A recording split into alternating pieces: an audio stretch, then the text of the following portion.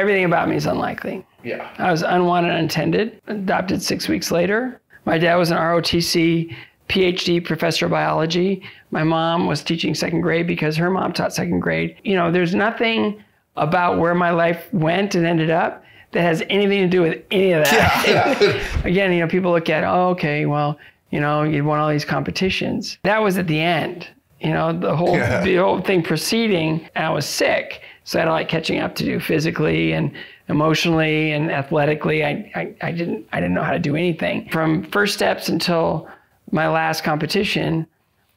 It was 16 years, so the last six were pretty good. You know, preceding that, I wasn't very good. Like, like regionally, yes. I could hold You my good own enough to be in the game. It's like saying a quarterback in the NFL sucks. They don't. Yeah. You don't really mean he sucks because he made it into the NFL. But parents knew that you were good enough to where we should be f- chasing this, but they had no idea that you were good. it wasn't even about being good. It was about the fact that I was so sick for so long, and all of a sudden I get on the ice and I'm starting to grow again, starting to develop again. Yeah. I'm starting to show signs of life again. And it's like, okay, this is the one thing that works Yeah, okay. here. Do that. We're, we're going to leverage everything to you know keep this thing going. And and you know for the longest time I just I was asymptomatic and I just kind of rolled through things and I, I just really started improving and getting the right kind of coaching. But it, it was, you know, I, my first nationals, I fell five times in a three minute program.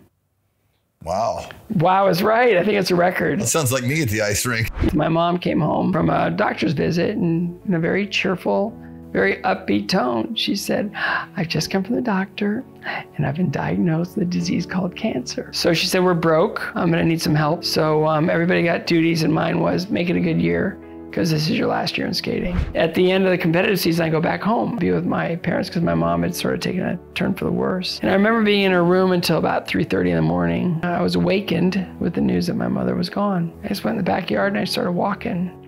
And it was in that walk that I decided I didn't have to do a lot of bad things because I didn't feel good. A couple of people I knew had, had lost parents, you know, different things, and they just drugs and alcohol, you know, because it just kills the pain. And I was like, ah, it would make her happy. what would make her happy? Well, why don't I just try to be the person she always dreamed I could be?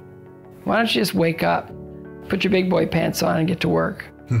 And so um, I just decided I was going to honor her in every way I possibly could on the ice. And, and um, you know, I was like, you're going to be late? Nope.